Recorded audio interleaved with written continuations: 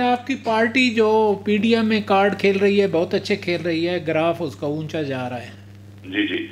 ये graph because of Asif Zardari साहब ना, क्योंकि ही थाट के मुझे ये करना चाहिए, अगर जंग लड़नी है तो सारे इकट्ठे लड़ते हैं, ऐसे नहीं करें। अकेले क्यों लड़ें? तो मेरा उन्होंने जो एक डिमांड डाली है वो पोलिटिकली एक बहुत अच्छा मास्टर स्ट्रोक था, जो उन्होंने अपना पोलिटिकल पॉलिटिशियन की हैसियत से, एक विजनरी की हैसियत से किया, जो कि आज मैंने अप्रिशिएट किया। सारे टीवी चैनल्स में मीडिया पे आपने देखा होगा।